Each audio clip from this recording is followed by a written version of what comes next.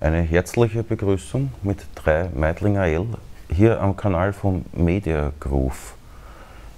Nur hier läuft die Sendung Der Rote Stuhl, auf dem ich die Ehre erfahre, Platz nehmen zu dürfen. Und ich freue mich schon auf das Gespräch. Bis dann. War das so richtig?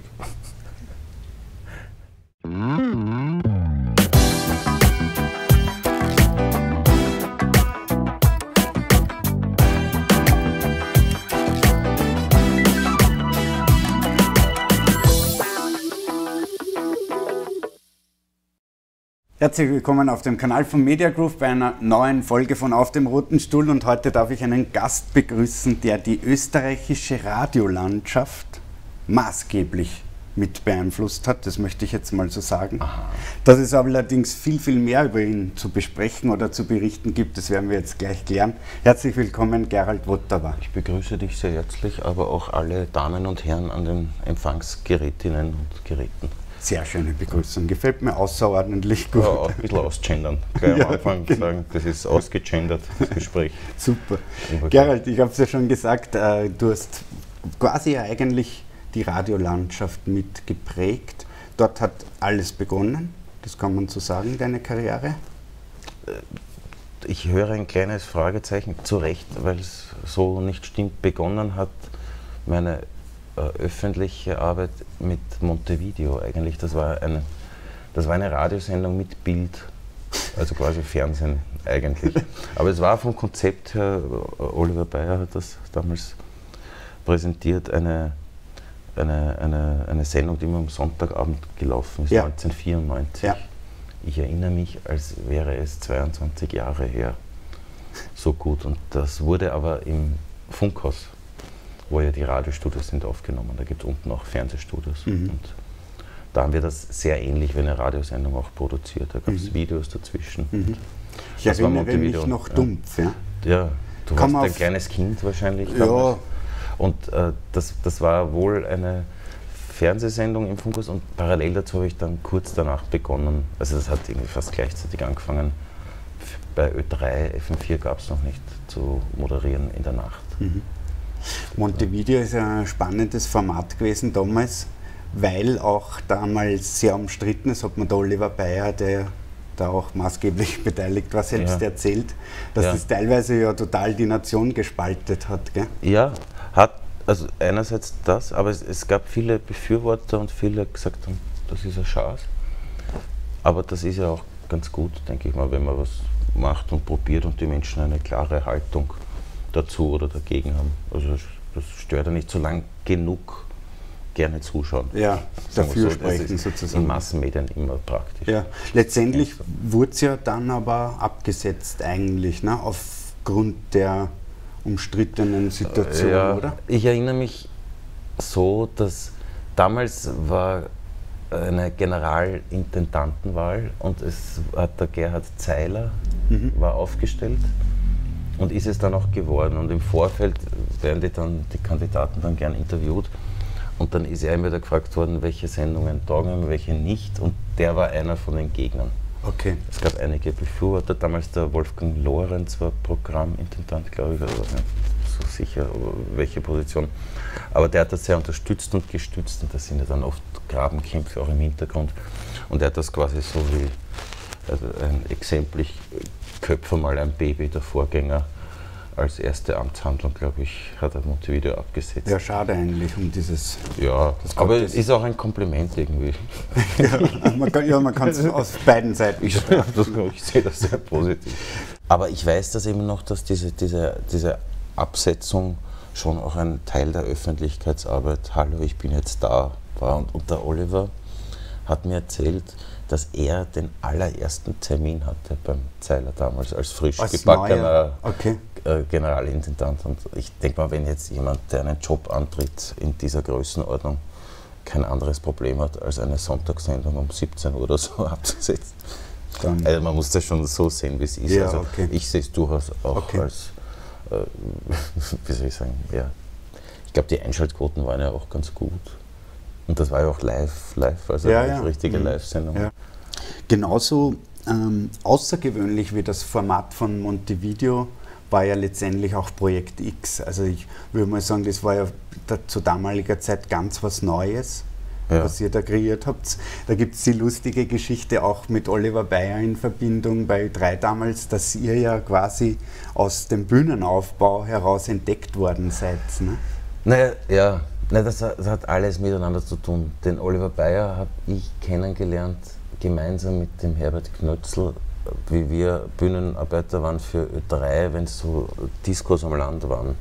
Und der Oliver hat damals moderiert und so haben wir uns kennengelernt. Mhm. Und da ist auch der Herr Ralf entstanden. Okay. Das war die Figur, die ich in Montevideo gespielt habe. Ja, genau. Der Herbert war da auch dabei. Und dann hat der Oliver mich zu Montevideo dazugeholt. Wir haben dann den Herbert für so diverse Zuspielungen und Beiträge, war der auch schon dabei, und den Clemens Heipel, der war ja auch damals äh, bei Montevideo dabei und wir haben äh, auch verschiedene so Beiträge gemacht. Mhm. Und da, da habe ich den Clemens kennengelernt und da haben wir dann entdeckt, dass wir schon noch eine sehr eigene Art und Weise haben, wie wir Humor oder was auch immer verstehen. Aber wie kann man sich das vorstellen äh, vom Bühnenaufbau? Ich meine, das sind ja jetzt Leute, die nicht unbedingt im Hauptfokus stehen. Habt ihr das dann darauf angelegt, irgendwie aufzufallen oder gesehen mhm. zu werden? Wie, wie kann man sich das... Ja, ich weiß nicht, wenn man jung ist, dann hat man halt die Goschen offen. Und wenn das äh, irgendwie genug Menschen unterhält, also sehr normal, so wie es halt überall, weißt du, wenn der Schmäh rennt, und das, das funktioniert. Und das ist ja auch, das waren die, die Anfänge, wo Ö3 so Außenveranstaltungen gemacht hat.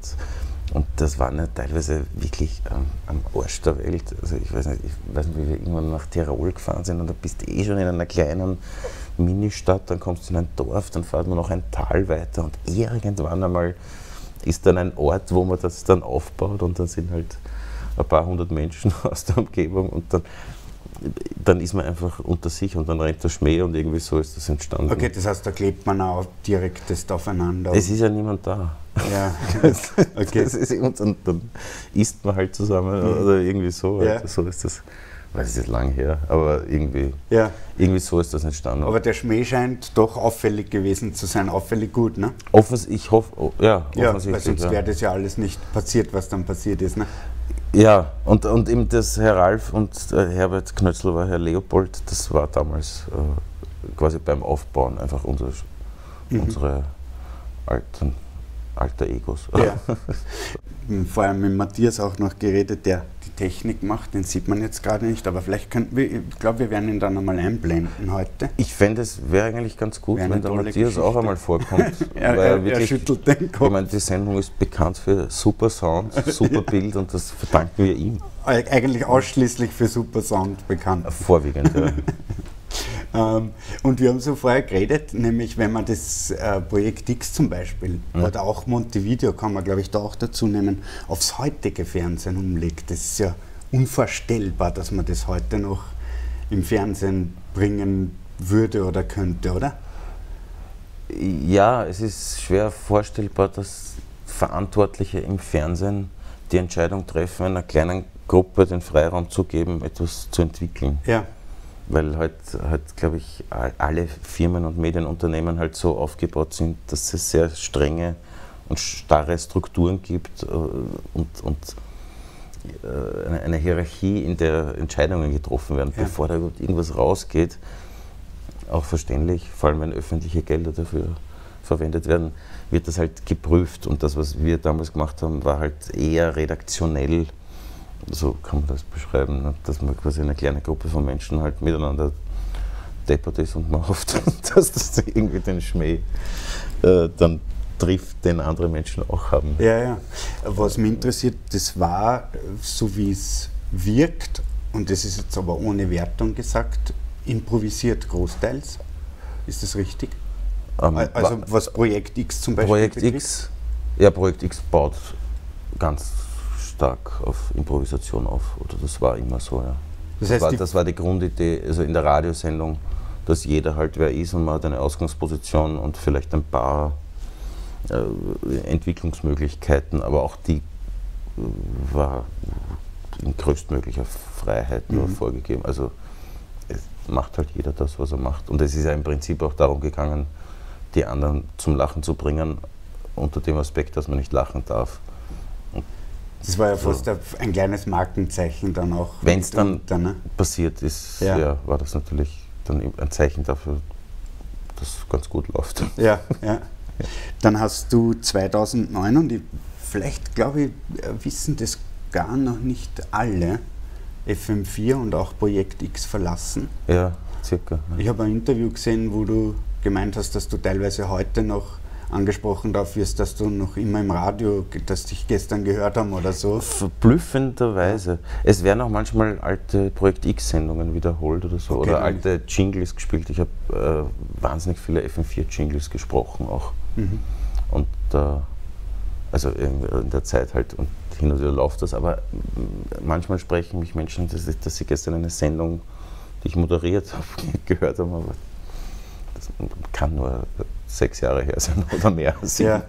Wenn man sozusagen durch so eine lange Zeit immer wieder auch das Thema am roten Stuhl so einen Stempel bekommt. Ja. Der FM4-Moderator, ne? Der FM4-Moderator ist ein Stempel, ja. ja. Vielleicht. Ob ja. das jetzt gut oder schlecht ist, das ist jetzt völlig ist außer ja. Wertung, aber oft, äh, wenn man sich dann äh, verändern möchte, und ich gehe aus, dass die 2009er Entscheidung auch so ein bisschen eine generelle Entscheidung ja. für Veränderung war, ist es ja dann manchmal, wenn man jetzt zum Beispiel wie du ins Schauspielfach wechselst, gar nicht so einfach, weil viele dann, so hat man auch zum Beispiel der Oliver Bayer erzählt, der sich sehr schwer getan hat, die Leute immer gesagt haben, ah, der, der Radiomoderator möchte jetzt Schauspieler werden. Ja. Dadurch einem die Leute das gar nicht so zutrauen teilweise. Oder ja. Ja, ich denke mal, wenn es viele, es gibt viele Menschen im öffentlichen Leben und jeder kennt auch sonst viele Menschen und man neigt halt dazu, andere irgendwie einzuordnen, auch damit man schneller weiß, wie gehe ich auf ihn zu. Ne? Oder das ist der, das ist der, das ist der. Mhm. Aber in dem, was ich mache oder auch immer gemacht habe, war auch immer der größtmögliche Freiraum in alle Richtungen. Also ich habe auch, ich habe normale Radiosendungen moderiert, aber habe natürlich im Projekt X, ich weiß genau. nicht wie viel mhm hunderte Rollen gespielt, habe in den 90ern auch, aber auch schon ein bisschen in Filmen gespielt. Und, und das Schauspiel war immer Teil meines Lebens. Ich habe halt dann, ich bin halt auch nicht so richtig dazugekommen. Und, und dass ich dann aufgehört habe mit dem Radio, lag vorwiegend daran, dass man immer taugt hat. Mhm. Also, dass ich mir dachte, egal was ich mache, in, in dem Bereich, in dem ich tätig bin, muss halt, ist es wichtig, es auf die Art und Weise zu machen, die dir Freude bereitet, weil nur so kannst du es ja auch nach außen tragen. Ja. Was nicht heißt, dass man nicht einen schlechten Tag hat, aber wenn man dann irgendwie merkt, also sich selber nicht mehr in etwas so gut Grund, findet oder so. Ja, dann, die Grundzufriedenheit dann, einfach ja. nicht mehr stimmt. Ne? Und ich habe dann wirklich teilweise Situationen gehabt, wo ich quasi mit dem Kopfhörer vor dem Mikrofon sitze und dann meine eigene Stimme nicht mehr hören konnte. Mhm. Und da habe ich gedacht, da muss, muss man aufhören. Da muss man was das, ändern. Ja. ja von Auf dem Roten Stuhl gab es eine Zeit lang auch eine Radiosendung. Und was ich so spannend gefunden habe, ist auch, dass man im Radio so ein bisschen auch seine eigene Persönlichkeit finden muss. Im Gegensatz zu dann, wenn Kameras laufen, ist das dir auch so gegangen. Also man ist irgendwie da, ja. eigen und auf der anderen Seite auch wieder ein bisschen anders. Man agiert anders. Ja, ja, das Radio ist immer das ist lustig. Obwohl die Situation ja ähnlich sein kann, finde ich, ist das Radio noch immer eher so ein 1 zu 1 Medium. Also es ist, es ist, man spricht zu einem Menschen meistens in Wirklichkeit, obwohl man sagt, ihr da draußen oder wie auch immer. Und man hat schon irgendwie das Gefühl, da hören viele zu und sind ja im Radio auch oft wirklich viele. Und im, im wenn man jetzt im Fernsehen, ich habe im Fernsehen nie viel moderiert, aber, aber halt Live-Moderationen noch viele gemacht. Aber ich glaube, sobald es mit Bild ist, öffnet sich das mehr und das Radio ist intimer. Und was wirklich großartig ist am Radio, und das, das ist so wie mit Lesen, Bücher lesen oder Filme schauen, das Radio lässt halt auch mehr Freiraum für die Fantasie derer, die zuhören. Mhm. Und das ist schon ja. leibend. Ne?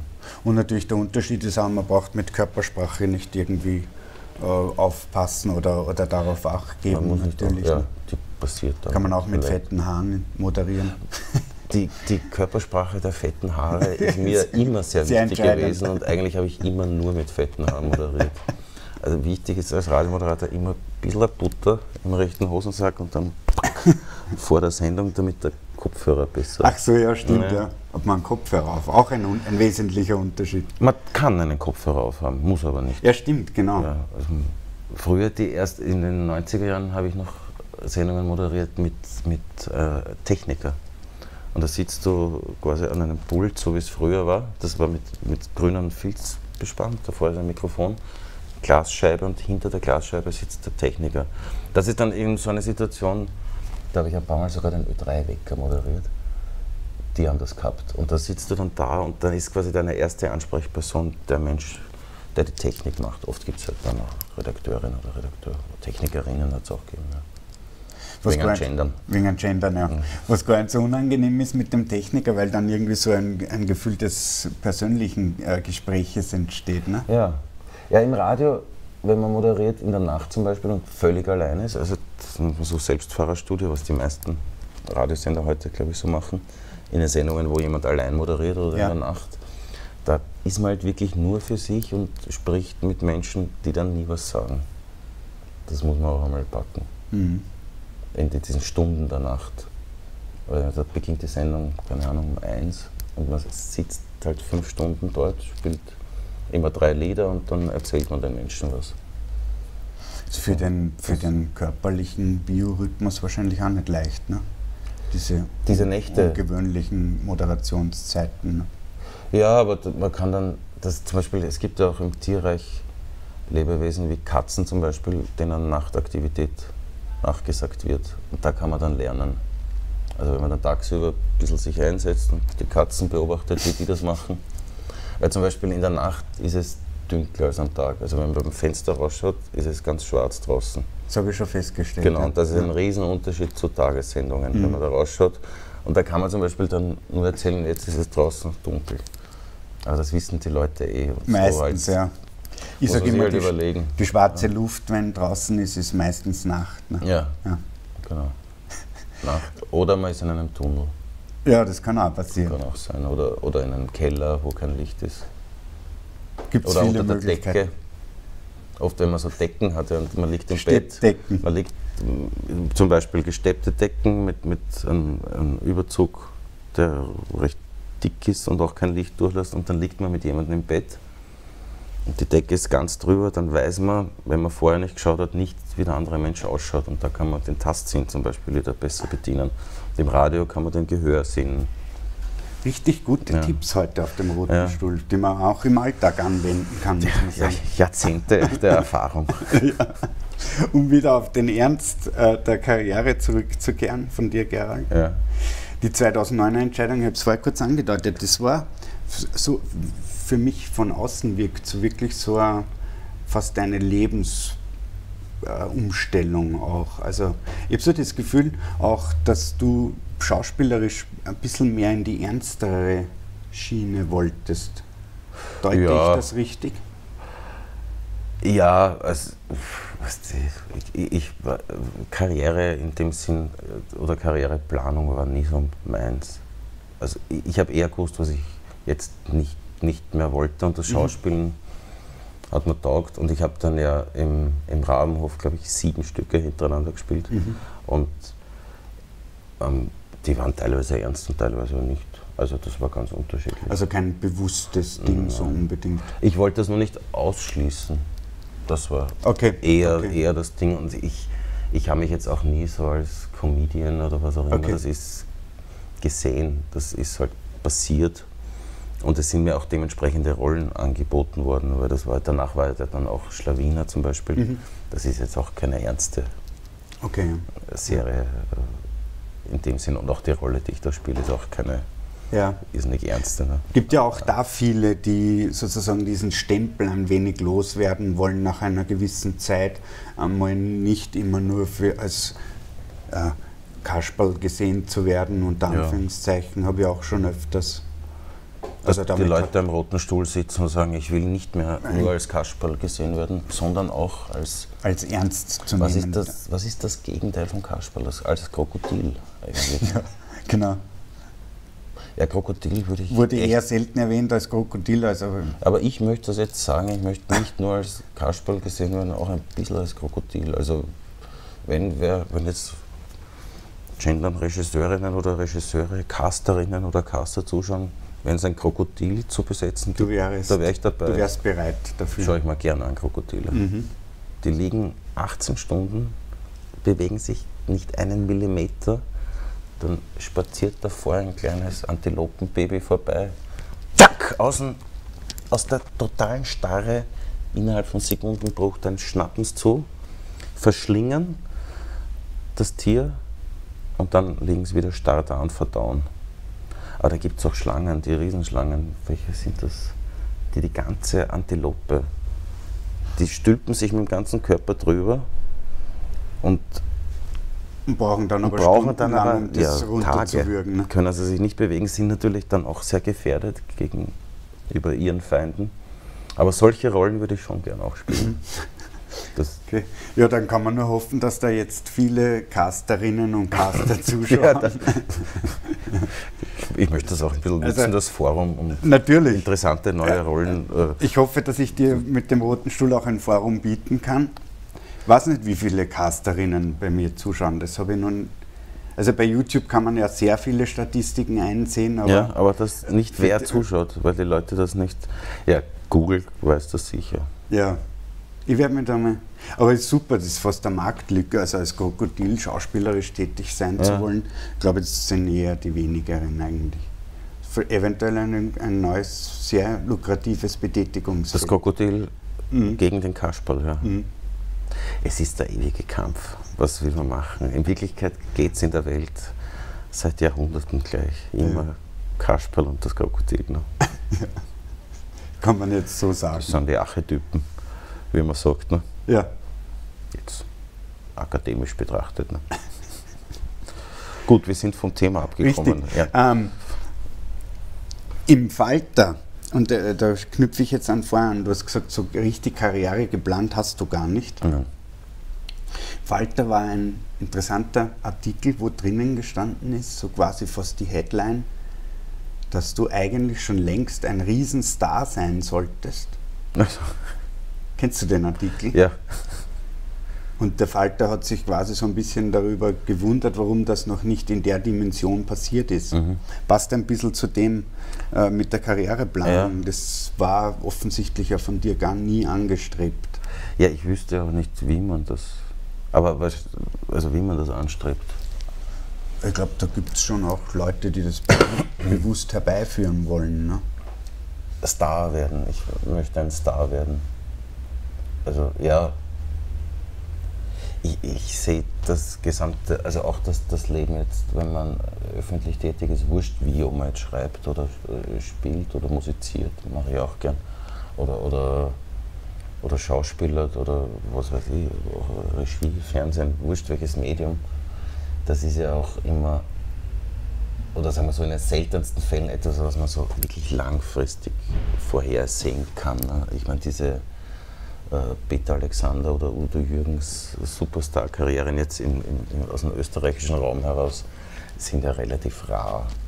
Und die kannst du ja wirklich auf einer Hand Über abzählen. den langen Zeitraum auch meinst du, ne? Ja. Über Jahrzehnte sozusagen. Sagen, ne? Und es gibt einfach Berufe, die man, die man hat. Mhm. Und, und, äh, und das Wort Star, das, damit konnte ich nie viel anfangen. Mhm. Ich mein, meine, es ist sowieso eine Frage der Definition.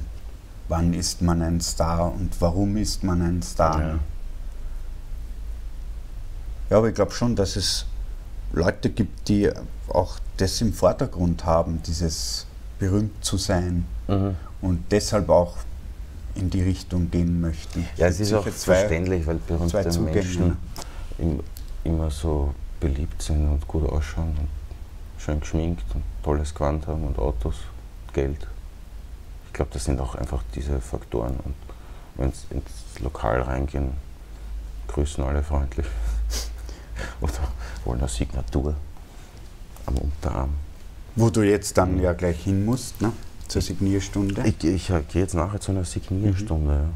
Wie geht's der dort zum Beispiel dabei? Ist Bei der dann, Signierstunde? Ja, also man jetzt echt vom Gefühl her, ist das dann eher was, wo man sich denkt, boah cool, da wollen Leute ein Autogramm oder ist das eher sogar unangenehm, wenn es einem eher nur um die, um die Tätigkeit als solches geht?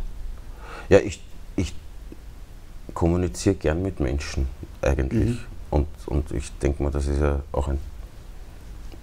Man redet halt mit Menschen auch darüber. Da erfahrt man auch dann kurz, wie wer heißt zum Beispiel. Oder kann man sich dann immer was überlegen, was man jemandem mitgibt auf den Weg. Vielleicht, ich habe auch in der Volksschule ein Stammbuch gehabt. Schaue ich bis heute rein, wenn ich nicht weiter weiß. Da stehen dann Sachen drinnen wie äh, das wichtigste Stück im Reisegepäck ist ein lachendes Herz.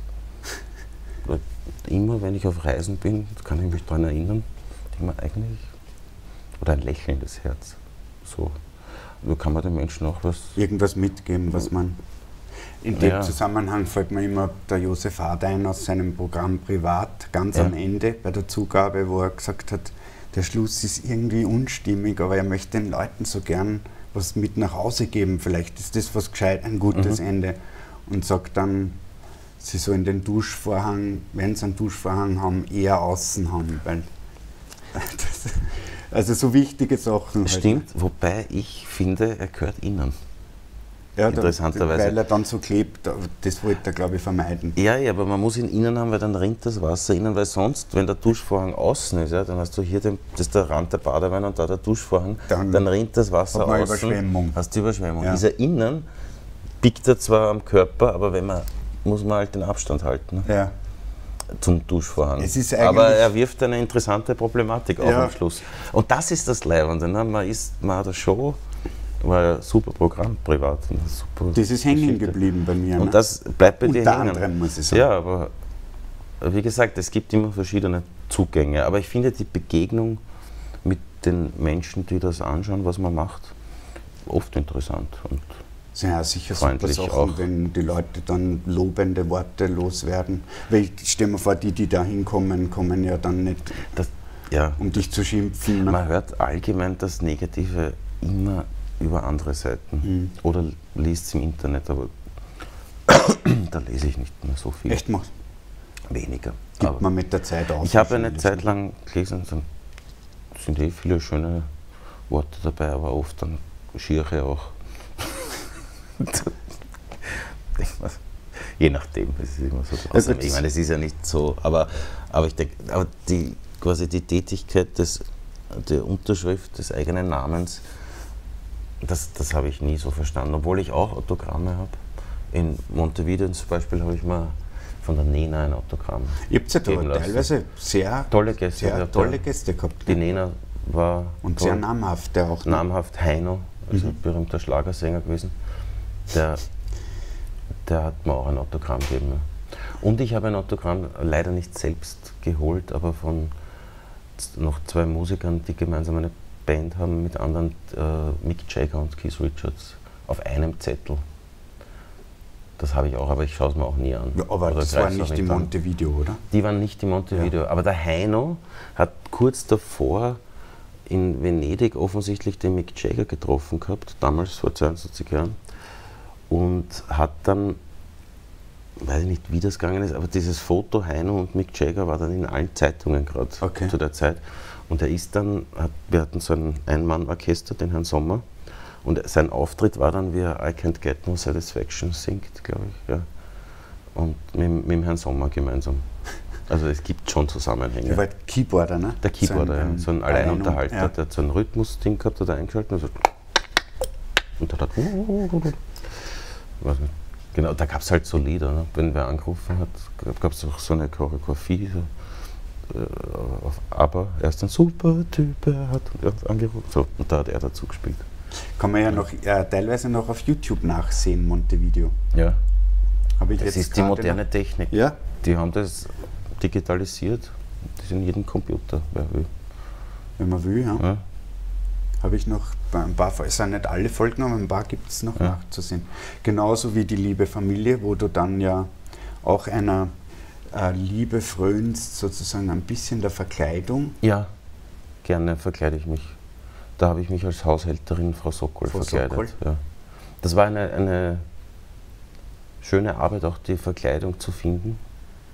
Also im Zusammenhang mit dem Kostümdepartment, weil wir da auch die Figur versucht haben, ein bisschen zu gestalten. Also da, da hatte ich so eine Hose, wo man da die Beinchen, also ein bisschen eine stämmigere 60-jährige Dame. Und dann hat man unten quasi den Körper mal zurecht gemacht und dann oben die Arbeitsschürze und so, war schön. Lustigerweise hat sich das Format, äh, korrigiere mich, wenn ich falsch liege, irgendwie verändert damals mit der Neuauflage quasi. Das ist ja eher dann zu einem Comedy-Format geworden, fast, weil vorher ja. war ja das mehr eher ernst, also ernster angelegt, ne? oder? Ja, ich, ich habe, ich erinnere mich als Kind die alten Folgen zu sehen. Das war eine sogenannte Stegreif. Komödie, mhm. aber ich glaube schon Komödie. Auch mit Publikum ja, äh, vor Ort, dann bei, zumindest das bei der Neuauflage. Bei der Neuauflage gell? auch so, weiß nicht, ob es bei der alten so ja, war. Das weiß ich, ja, ja. Aber die hatten auch quasi ein gebautes Studio und hatten eine, eine Geschichte, eine vorgegebene. Also die haben es schon gewusst, haben aber improvisiert also gesprochen, frei. Ähnlich Projekt X kann man fast sagen. Ne? Von, also von der. Naja, das Improvisierte vom, als von Anteil. Improvisationsfaktor ja. her. Ja. Nur im Projekt X war es halt auch so, dass quasi wir drei Charaktere sind. In den Radiosendungen, Fernsehen war wieder anders, aber in den Radiosendungen, wo man wirklich, wo dann jeder sich auch in jede Richtung entwickeln kann und wo man ja teilweise dann so Diskussionen hatten, so wie wir, oder Gespräche oder aber auch so, so Situationen. Ja mhm. die oft auch aus dem Leben waren. Mhm. Also ich kann mich erinnern, zum Beispiel eine Projekt X-Sendung im Radio, die mir immer wieder einfällt, weil ich sie echt schön gefunden habe. Die kommt direkt aus dem Leben von Clemens Heipel, der daheim einen Handwerker gehabt hat und der fertig war und eigentlich, glaube ich, gar keine große Arbeit gemacht hat, so ein paar Minuten. Und dann habe ich gefragt, ob er noch kurz aufs Klo gehen kann. Und Handwerker sind ja wirklich oft zu bemitleiden, weil auch Straßenarbeiter, weil die ja oft kein, kein WC haben in der Nähe und die müssen dann irgendwie oder anläuten und können auch keinen Kaffee kochen. Und klar, sagt man ja.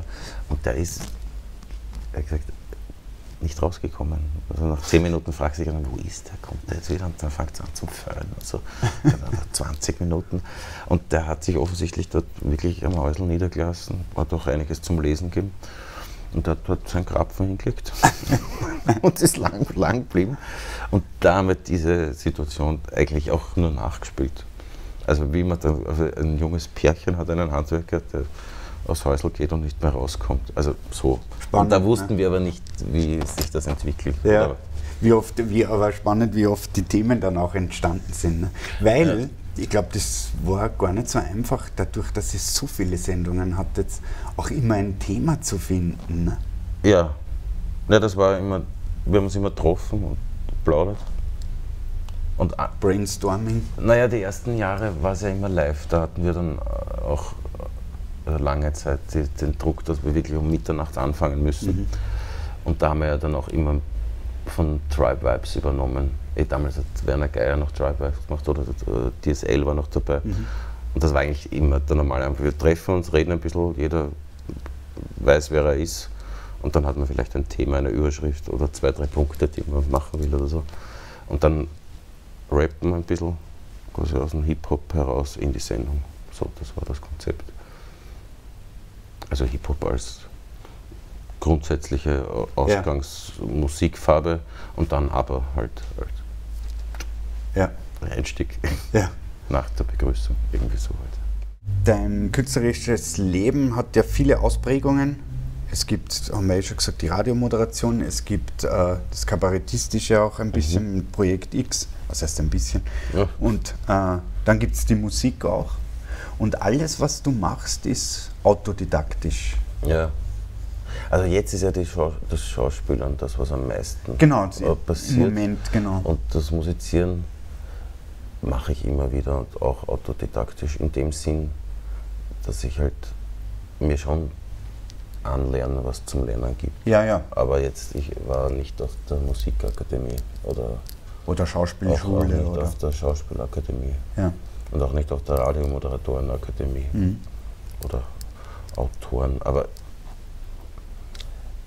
ich lerne dann schon immer, wenn es was zum, oder wenn mich was interessiert, dann lerne ich das schon auch von jemandem. Zum Beispiel jetzt gerne beim Schauspielen habe ich sehr wohl eine Sprachausbildung gemacht.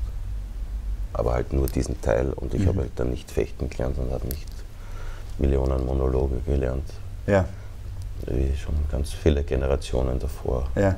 Oder über Birchel gelesen, was ein berühmter Schauspieler geschrieben hat, wo, wo man auch viel mitkriegt. Also Ja, ja. das mache ich schon. Ja. Gibt ja diese zwei Zugänge, wo ich manchmal auch das Gefühl habe, dass Leute, die das so aus dem Bauch rausmachen, manchmal die glaubwürdigeren sind, die authentischeren. wenn, wenn quasi aus dem Bauch machen bedeutet, dass die Emotion eine, eine ist, die einen Grund hat, dann Ja. geht es nur so, denke Ja. ich, in, in Wirklichkeit. Ja.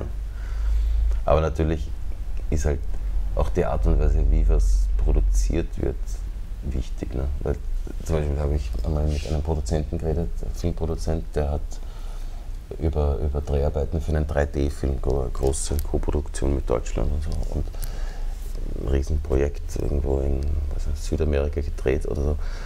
Und der hat dann gesagt, wenn man 3D mit diesen vielen Kameras und, und wo technisch alles so ganz genau eingerichtet sein muss, dann ist das Schauspielen eigentlich nur mehr etwas, was dann quasi in dem Moment halt in einer höchstmöglichen Präzision geliefert werden muss, weil eigentlich das ganze Technische rundherum so wichtig ist. Das heißt, die, die Art und Weise, wie man diesen Beruf ausübt, ist ja auch in dem Fall sehr unterschiedlich zu dem, was man auf einer Bühne im Burgtheater macht.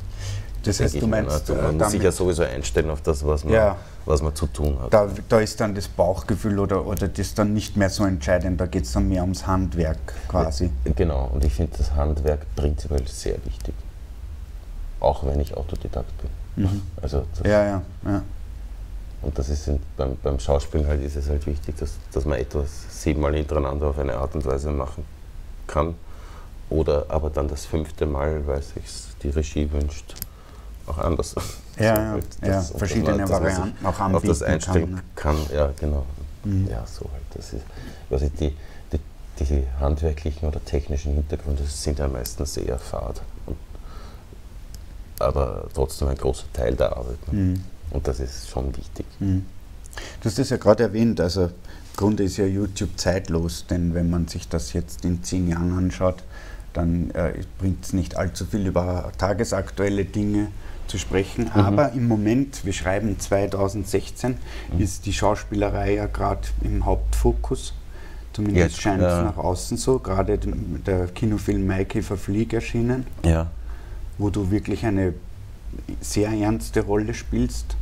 Ja, ist wahrscheinlich die ernsteste Rolle bis Mhm. jetzt. Ja, ja aber eine, eine sehr, eine sehr schöne Aufgabe. Ja. Sind das- Wichtig für mich. Ja, Ja. lernt man wahrscheinlich auch sehr viel Neues dazu, einfach auch gerade im Handwerk, wie wir ja gerade drüber gesprochen haben. ja, das eine ist das Hintergrundhandwerk und, das, und jetzt in dem Fall, man lernt ja auch von jedem Menschen, den man darstellt. Alles, was man nicht aus sich herausschöpfen kann, Ja. lernt man ja dazu. Und das sind oft ganz praktische Dinge, wie jetzt beim, eben beim Papa von Christine Nöstlinger, Walter Goeth hieß er, den ich gespielt habe oder spielen durfte. Der hat halt Russisch gesprochen, auch im Film. Der, äh, der war Uhrmacher, Mhm. äh, war im, im Zweiten Weltkrieg in, äh, einerseits im Feld äh, als Wehrmachtssoldat, andererseits in Kriegsgefangenschaft im Lazarett. Hatte diese Wunde, also da gibt es einfach so sehr viele Hintergründe.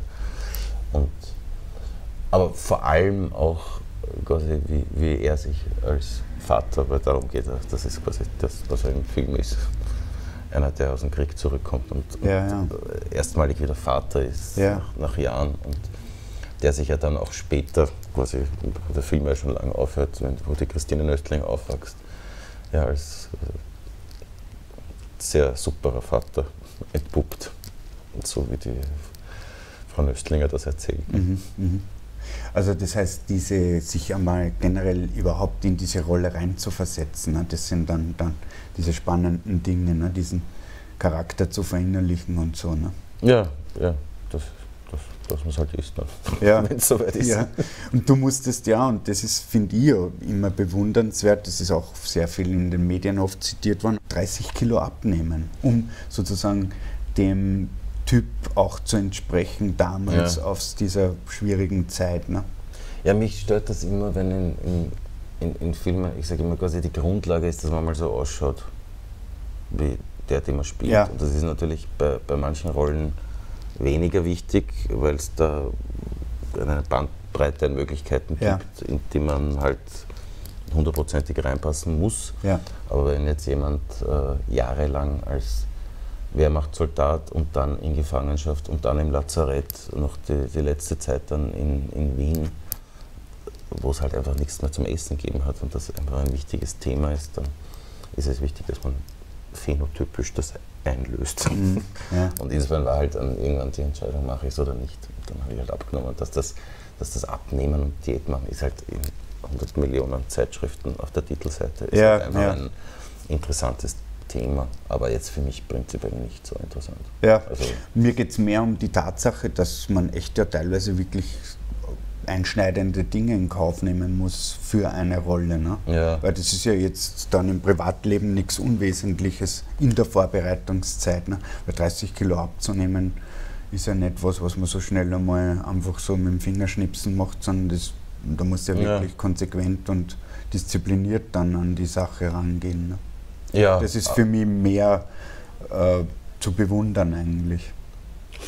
aber das Disziplinierte muss ja sowieso sein, wenn man, wenn man sowas macht wie einen Kinofilm. Das Ja. hat viel mit Disziplin zu tun und die beginnt ja nicht erst am ersten Drehtag.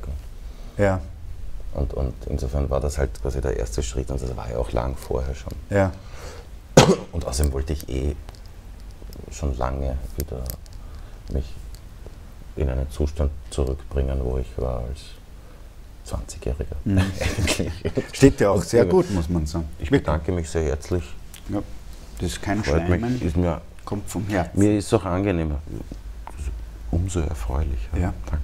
Gerne. Aber, aber mir ist es auch um, um prinzipielle Beweglichkeit gegangen, Ja. oder, oder ja, wie man sich halt fühlt. Da hat die Rolle ein, Ja, eine super Doppelfunktion auch gehabt. Genau, das war unterstützend. Ne? Aber ich hätte es sowieso Ja. vorgehabt. Okay. Ich war eigentlich, ich war nie ein sehr sportlicher Mensch, aber es hat mich immer auch interessiert und es war immer Teil Ja. meines Lebens. Aber irgendwann ist das dann immer weiter. Bei diese Vorsätze, die dann, wenn kein Muss dahinter ist, ja meistens die sind, die man dann am wenigsten konsequent verfolgt. Ich meine, das ist auch so eine Typfrage, aber ich glaube, wenn Ja. man so ein konkretes Ziel vor Augen hat, wenn man es muss, dann muss man Ja. natürlich anders agieren. Ne? Ja, ich meine, in dem Moment, wo, wenn man die Entscheidung trifft, ich möchte das machen, äh, muss man es dann einlösen. Hat man die mitgetroffen, dann- die Entscheidung Dann, genau. naja. Und Ja. sonst, ich hätte natürlich auch sagen können, nein, ich mache es nicht und nehme trotzdem ab, aber ich wollte diese Rolle wirklich Ja, gern spielen ja. und ich, diese, dieses ganze Filmprojekt ist ja auch vier Jahre lang ein wesentlicher Teil meines Lebens gewesen, Mhm. oder Arbeit oder in der Vorarbeit. Mhm. War das so geplant, dass du mehr in die Kinoecke jetzt gehst oder hat sich das auch wie so vieles in deinem Leben ergeben? Ich habe, ja, so wie ich jetzt, jetzt nicht, so wahnsinnig viele Pläne habe, äh, war das auch so.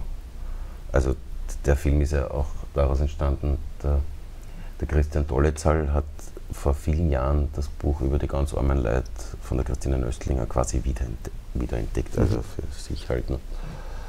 Und der hat mit der Ursula Strauß, die haben, glaube ich, in der Schauspielschule sich kennengelernt, und die haben Lesungen gemacht. Und er hat es dann irgendwann dem, äh, ist dann die Idee entstanden, ein Theaterstück daraus zu machen. Und da bin ich dann auch dazugekommen. Und das Theaterstück hat dann die Miriam Unger gesehen, äh, öfters und war da irgendwie nah dabei. Und dann ist die, die, Nöstlinger als, als Autorin einfach wieder ganz normal äh, mehr in den Fokus gerückt. Und dann hat die Miriam das Maikäferbuch gebracht und das hat dann sie gelesen und unser Sohn und so. Und dann ist die Idee entstanden, das wäre doch ein Filmstoff. Ja. Und dann, ich habe dann die, die Christine Nöstlinger schon kennengelernt gehabt und habe sie angerufen und dann hat sie gesagt, kann man nicht verfilmen. Das haben andere auch schon probiert. Wirklich? Okay. Und irgendwie, Mhm. ja, weil es natürlich, äh, klar, historisch 1945, das ist alles, Ja, ja. klingt teuer und ist teuer und, und schwierig herzustellen. Mhm, ja.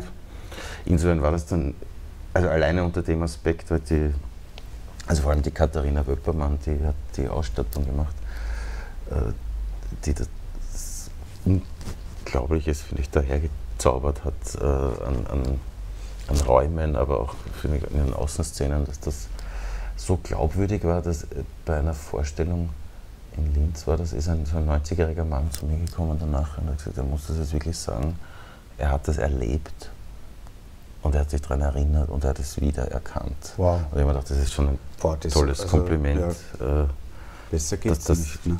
gelungen ist, einmal dieses ja, ja. Setting äh, herzustellen. Hat ja deine Frau die Regie gemacht? Ne? Ja, also Lebensgefährtin. Oder Lebensgefährtin. Verheiratet. Ja. Aber es ist auch sicher eine spannende Erfahrung, ich weiß aber, dass ihr das schon vorher hattet, bei einem anderen Film auch, ne? Mehrmals. Ja. Oder mehrmals. Ja. Aber sicher auch eine spannende Erfahrung, wenn da die sozusagen auch das Privatleben mit dem Beruflichen sich vermischt. Ne? Sehr spannend. Viele versuchen das ja tunlichst zu vermeiden.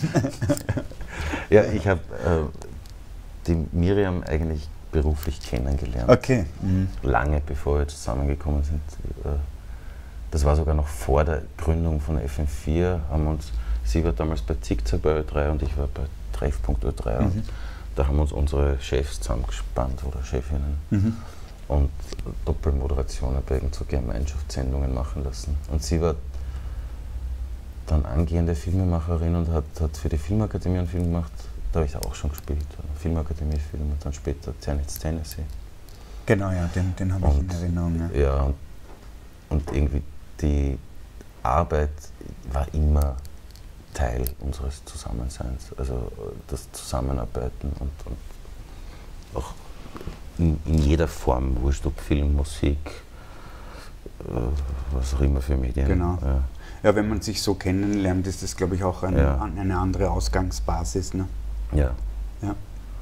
Und ja, ich, und sie ist eine gute Regisseurin und das schön, mit einer guten Regisseurin zu arbeiten. Das so auch als Schauspieler selber nicht, nicht schlecht eigentlich, wenn die Frau äh, oder die Freundin Regisseurin ist, weil man dann auch filmtechnisch vielleicht sich wieder das eine oder andere Projekt ergibt, weil du immer sagst, du hast jetzt gar nicht immer so die Pläne, was passieren ja. soll, was ja bei der Freiberuflichkeit eh so ein tägliches Auf und ja. Ab ist, mit dem man konfrontiert ist.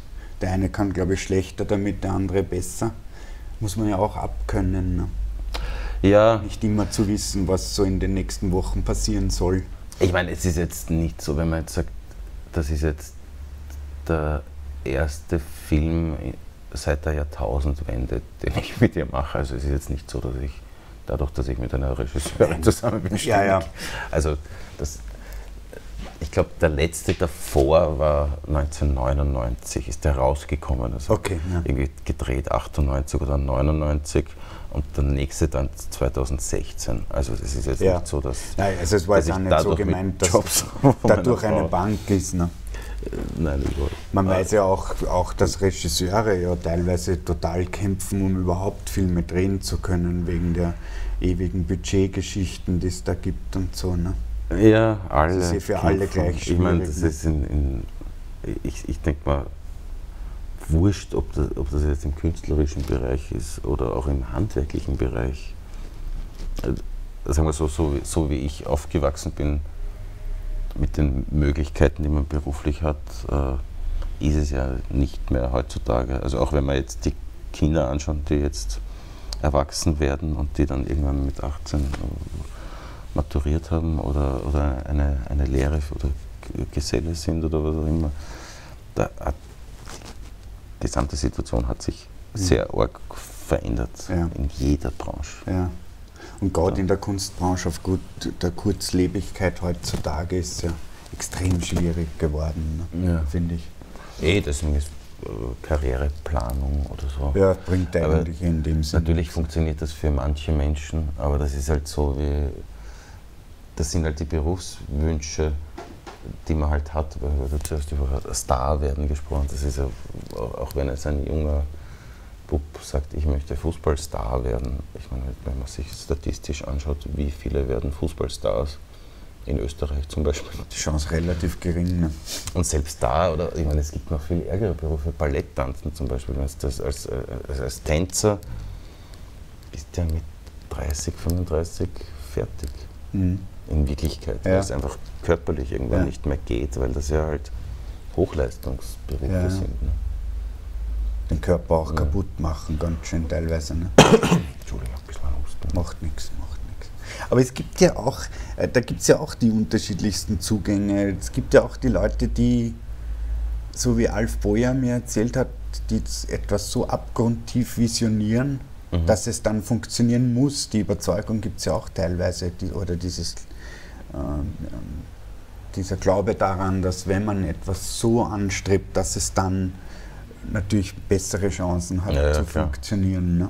Ich denke mal, wurscht, wurscht, was man macht, je, äh, es braucht eine starke Vision von etwas oder dass man halt irgendwo im inneren Auge sieht, wo man hingeht. Aber dann muss man natürlich auch alles tun, was es dazu braucht, dass man das so ausführen kann.